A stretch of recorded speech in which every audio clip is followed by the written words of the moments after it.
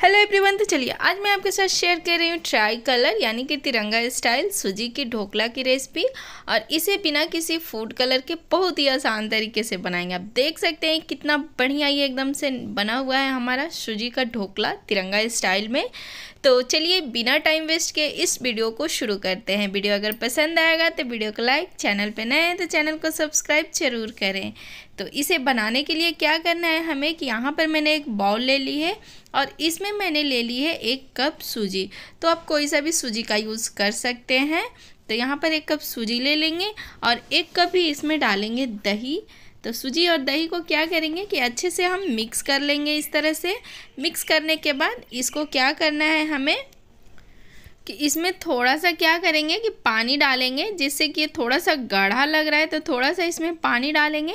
पानी डाल करके क्या करेंगे, इसको अच्छे से मिलाएँगे और मिलाने के बाद क्या करना है हमें कि इसको ढक करके रख देना है। क्योंकि सूजी जो है, सूजी पूरा जो दही और पानी हमने डाली है, इसको सोख करेगी तो सूजी जो है पूरा अच्छे से फूल जाती है। तो इसलिए क्या करेंगे कि इस तरह से हमें ढक देना है लगभग दस मिनट के लिए। दस मिनट हो चुके हैं, आप देख सकते हैं, काफ़ी ज़्यादा ये गाढ़ा हो गया है। सूजी भी अच्छे से फूल चुकी है तो इस तरह से क्या करना है कि इसको अच्छे से हमें मिक्स कर लेना है। इस सूजी को क्या करेंगे कि थोड़ा सा गाढ़ा ही रखेंगे, इसको ज़्यादा पतला हमें नहीं रखना है और इसमें डाल देना है हमें टेस्ट के अकॉर्डिंग इसमें हम नमक डाल देंगे। नमक डालने के बाद इसको अच्छे से हमें मिक्स कर लेना है इस तरह से। जैसे ही लगे कि सूजी जो है मिक्स हो चुका है तो इस सूजी को हमें क्या करना है कि तीन भाग में इसको हमें सेम सेम क्वांटिटी में कर लेना है, क्योंकि हमें यहाँ पर तीन कलर में ये सूजी बनाना, सूजी का ढोकला बना करके तैयार कर लेना है। अब क्या करेंगे कि यहाँ पर मैंने केक टिन का इस्तेमाल करी है तो केक टिन में थोड़ा सा तेल लगा देंगे। आप कोई सा भी बर्तन का यूज़ कर सकते हैं, तेल लगाने से चिपकेगा नहीं। अब एक बाउल में जो हमने सूजी का जो बैटर है निकाल के रखी है, इसमें क्या करेंगे कि डालेंगे गाजर का मैंने यहाँ पर पेस्ट बनाएँगे। एकदम से पेस्ट नहीं की है, हल्का दरदरा ही हमने इसको पीस करके तैयार करी है।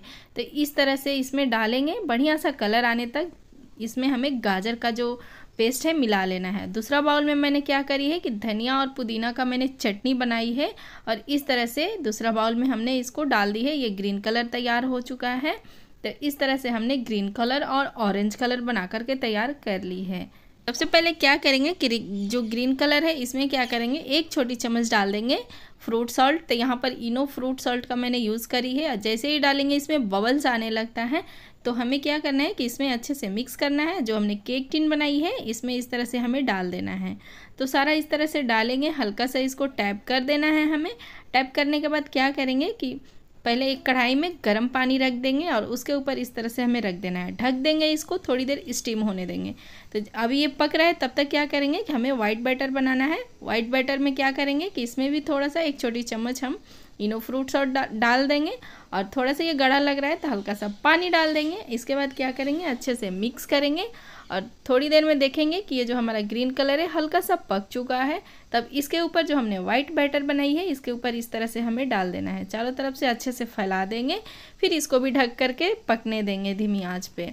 इनो फ्रूट सॉल्ट डालेंगे और इसको भी अच्छे से हम मिक्स करेंगे। तो इस तरह से ये हमारा ऑरेंज जो है बैटर रेडी हो चुका है, तब इस तरह से इसके ऊपर भी हमें इस तरह से रख देना है।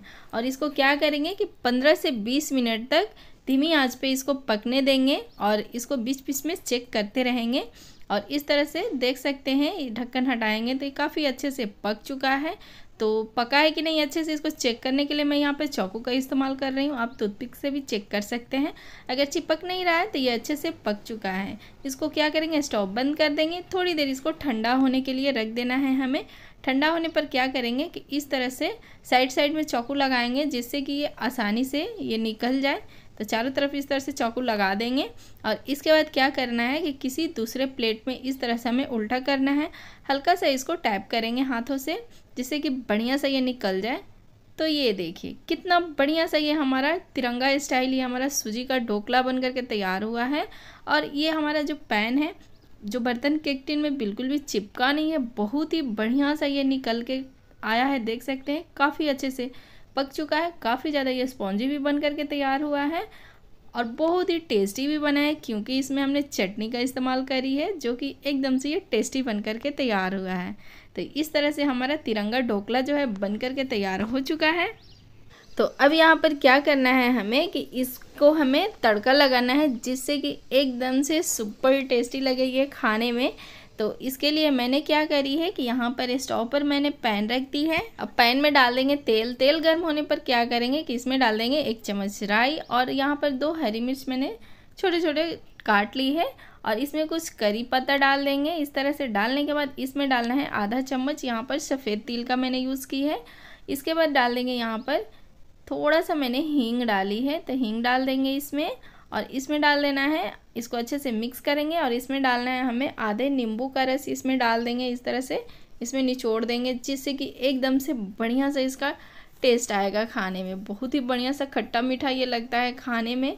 तो इस तरह से नींबू का रस निचोड़ेंगे और यहाँ पर क्या करेंगे कि स्टोव को बंद कर देंगे और इसको थोड़ा सा इस तरह से मिक्स कर लेना है।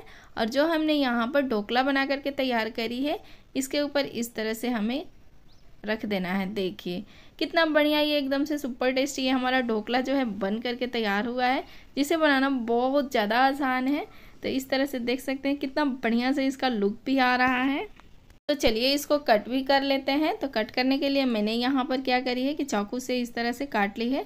अब जैसे भी काटना चाहे, काट सकते हैं। अपने मनपसंद शेप में इसको कट कर सकते हैं। तो देखिए, चाकू में भी बिल्कुल भी नहीं चिपक रहा है। इससे क्या पता चलता है कि हमारा जो ढोकला है, बहुत ही बढ़िया सा बन करके तैयार हो चुका है। देखिए, मैं पास से दिखा रही हूँ। देखिए, कितना ज़्यादा बढ़िया, सुपर टेस्टी ये हमारा सूजी का ढोकला तिरंगा स्टाइल में बन करके तैयार हो चुका है। देखिए, बहुत ही ज़्यादा स्पॉन्जी भी ये बन करके तैयार हुआ है। तो हमने यहाँ पर काट करके प्लेट में रख ली है। देख सकते हैं कितना प्यारा सा इसका लुक आया है। बहुत ही ज़्यादा टेस्टी और बहुत ही आसान सा ये हमारा सूजी का तिरंगा स्टाइल टोकला बन करके तैयार हो चुका है, जिसे बनाना बहुत ज़्यादा आसान है। तो आप इसे एक बार ज़रूर ट्राई करिएगा और कैसी लगी रेसिपी कमेंट करके ज़रूर बताइएगा। अच्छी लगी हो तो वीडियो को लाइक चैनल पर नए तो चैनल को सब्सक्राइब ज़रूर करें। मिलते हैं नेक्स्ट वीडियो में एक नई रेसिपी के साथ। Thank you